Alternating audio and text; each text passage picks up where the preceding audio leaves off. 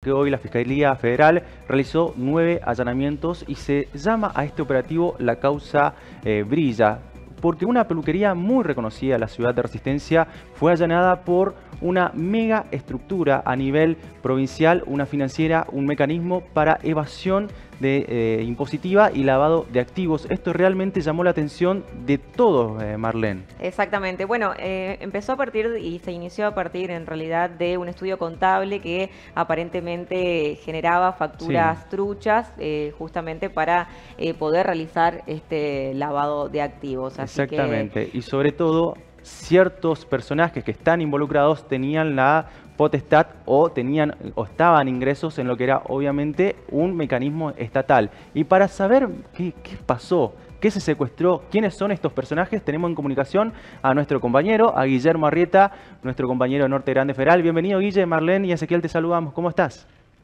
¿Qué tal? Muy buenas noches, Marlene, Ezequiel a la audiencia. Exactamente, una maniobra muy compleja de, varios hechos que se fueron investigando que comienza con una denuncia de un comerciante que eh, recibió una inspección de la CIP a donde le exhibieron una serie de facturas que había emitido él eh, y las desconoció, dijo que él nunca había emitido esas facturas, que nunca había facturado a, a, eh, a esas empresas, a esas cooperativas. No solo eso, además facturaba por la provisión de productos que ni siquiera vendía, ¿no? Eh, esta eh, denuncia se sumó a otras tantas de otros comerciantes que advertían esta, esta situación de facturas que aparecían a su nombre pero que nunca las habían emitido y todos los comerciantes coincidían en un nombre y apellido de un contador que era quien tenía acceso a las claves fiscales. Esto obviamente hizo que la CIP investigación se presentó ante la Fiscalía Federal eh, denunciando esta situación irregular y comenzó allí el trabajo de la Fiscalía que eh, termina descubriendo no solo lo que en situación a través de, los quits y además evadía impuestos, sino que constituía eh, sociedades anónimas, constituía fundaciones, constituía con los quits y eh, de esta manera también facturaba a través de estas cooperativas y fundaciones que eran peores del Estado. Todas estas situaciones, eh, obviamente, cree la Fiscalía, generaron un dinero espurio, un dinero ilegal que era introducido a través de múltiples maniobras al circuito legal, a través de maniobras de lavado de activos, y es por eso que hoy se han ordenado nueve allanamientos en donde se buscaba, además de dinero en efectivo, constatar, por ejemplo, eh, domicilios, contratar eh, vehículos que estaban siendo investigados y que se creen fueron los elementos adquiridos con esta plata mala vida, ¿no? Por parte de un grupo de personas en los que se los acusa de asociación ilícita. En este eh, grupo de personas hay contadores, hay abogados, hay empresarios. bueno, la este, titular de esta peluquería Brilla, que fue también allanada en la mañana de hoy, se han dado dinero en efectivo, moneda extranjera de, Brasil, Paraguay, moneda extranjera también de, Estados Unidos, dólares, se han secuestrado vehículos y hay un dato que se llamó atención y mucho de los investigadores, que es uno de los departamentos allanados. Fue adquirido por una de las personas acusadas de eh, apellido Ayala, que eh, es el de Tito López, el eh, líder piquetero muy reconocido en el Chaco.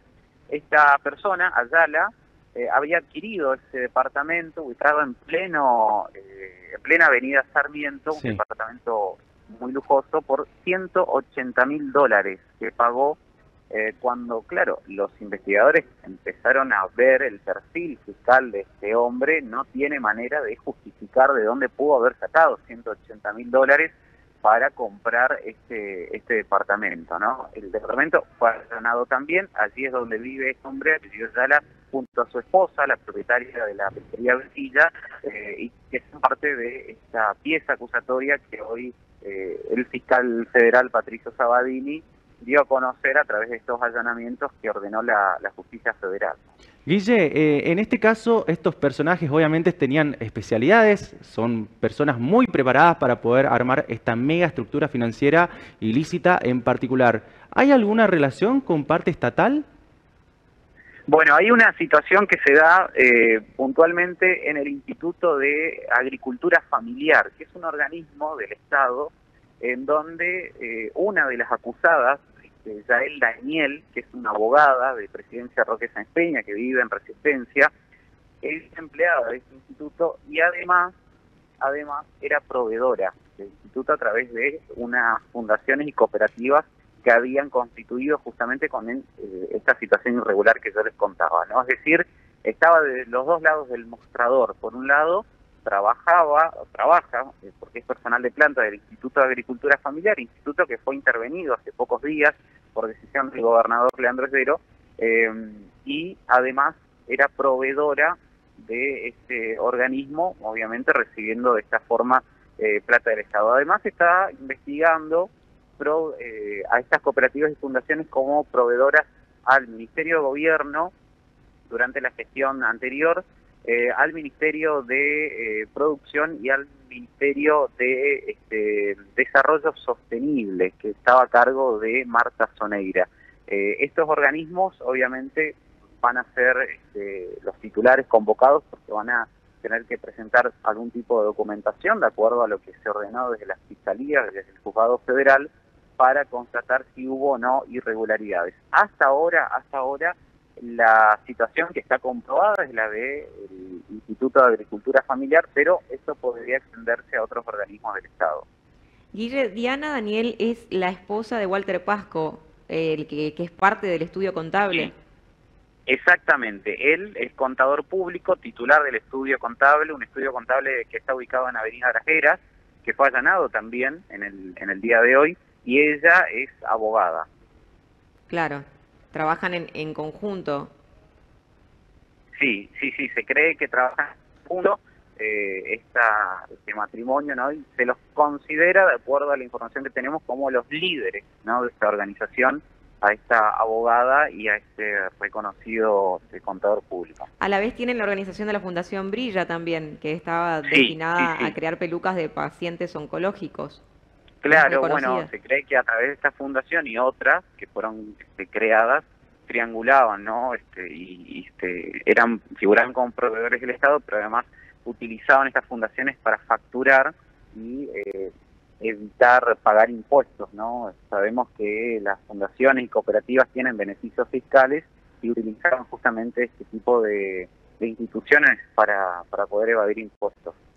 Guille, dentro de las cosas que se secuestraron hay armas, hay también eh, divisas, hay dinero eh, que realmente eh, muy irregular en este sentido.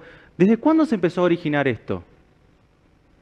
Bueno, se cree que esto comenzó en el año 2019. Por lo menos desde esa fecha radican las primeras, los primeros documentos ¿no? que, se lograron secuestrar desde el año 2019 hasta la fecha, por lo que bueno se cree que el monto de, evasión fiscal y el monto de dinero que este, eventualmente se podría haber este, lavado es, es, importante. Se secuestró dinero en efectivo, dólares, reales, guaraníes, se secuestró un verdadero arsenal en uno de los domicilios, puntualmente en un domicilio que está ubicado en calle Liniers, donde tenemos entendido funciona también una sucursal de esta peluquería, eh, armas de todo tipo, municiones de todo tipo que eh, fueron secuestrados y que seguramente, bueno, el titular, que es este, justamente esta persona apellido Ayala, el, eh, mano derecha de Tito López, eh, deberá justificar ¿no? Si, si, tiene la documentación pertinente. Son armas que además son muy costosas para los fiscales, para los investigadores. ellos tienen la sospecha de que este, compraba armas justamente con, con plata espuria, ¿no? con plata mala vida, como uno de los métodos de lavado de activos. Claro. Es, eh, en este caso, Ayala, el marido de la, de eh, su esposa es la que estaba encargada, ¿no? De la organización con, con la Fundación Brilla, también. Sí, exactamente, exactamente. Ambos están, están investigados eh, en esta causa. Sus domicilios fueron allanados, fueron este, relevados la información fiscal, no el secreto fiscal fue relevado para poder este, conocer también eh, información que tenga la FIT y que tengan los bancos respecto a estas personas. Claro. Guille, en, las últimas horas se dio a conocer que posiblemente en esta casa de Liniers, anteriormente hace menos de un año, año y medio, quizás eh, antes de la pandemia puede ser, eh, allí funcionaba un medio radial. Luego se fue modificando ese lugar y ahora, eh, bueno, fue obviamente donde ingresó esta, esta peluquería Brilla. ¿Hay algún tipo de situación irregular con respecto a eso? Bueno, por lo menos en la, en la investigación que, o en los datos que se dieron a conocer hoy, no hay ningún tipo de vínculo respecto a, a este a esta radio ¿no? que funcionaba ahí. Pero bueno, este, sabemos que cuando se lava activo se utilizan múltiples formas. Es un delito muy complejo de investigar porque justamente quienes se dedican a lavar activos procuran evitar que, que, se logre la trazabilidad del dinero, ¿no? el camino del dinero, y que se logre eh, evitar, siempre logran evitar o pretenden lograr evitar que eh, se sepa de dónde salió ese dinero. Los denominados delitos precedentes, que se habla y mucho en tema del lavado de activos, eh, se utilizan maniobras de todo tipo, ingenierías este, económicas para eh, ocultar el origen del dinero y hacerlo este, parecer legal, ¿no? a través de la adquisición muchas veces de bienes. Claro. Bueno, Guille, la verdad que mm, vamos a seguir seguramente eh, y junto a vos también la, la causa de, de, cerca, donde haya más información y más detalles, por supuesto lo vamos a informar desde aquí, así que te agradecemos toda la información que pudiste compartirnos como para tratar de entender de qué se trata esta causa a partir de hoy denominada Brilla. Así que muchísimas gracias por el aporte. Gracias a ustedes, que tengan buenas noches. Igualmente, buenas noches.